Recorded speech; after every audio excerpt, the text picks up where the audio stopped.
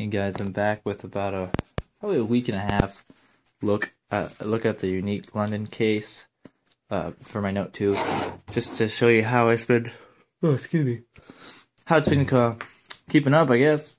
So one thing that that I want to mention specifically is that when I was reviewing the case, I said that I didn't feel like the edges here were gonna, uh, I guess, break.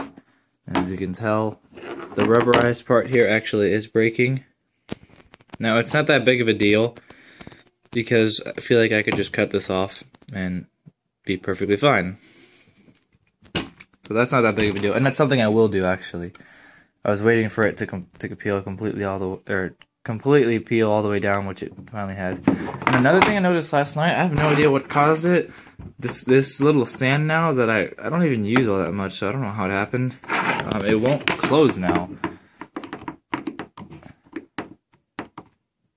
See?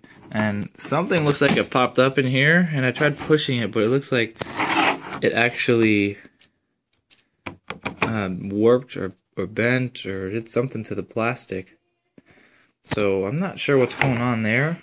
But it's a shame because I actually really like this case and I've been using it frequently. This the leather on the front kept up just fine, um, as, well, as well as the suede on the inside. Aside from that, everything else has been you know, doing just fine. The case has been keeping up, but yeah, I was, I was a little disappointed when I particularly found this out last night. I even tried taking this out, but I couldn't take it out without what I thought would be just tearing it out. So, I think it's a bit of a shame because it is a nice case. But at any rate, I just wanted to give you a, a quick update on this case. I would still, still say that this case is a buy, you know, despite these these little flaws. Because I think it's something that um, Uunique London would be willing to to help, you know, replace or, or fix or exchange. Excuse me once again. So that's that's really it. Um, I just wanted to give you an update. So just keeping it posted. Okay, peace out.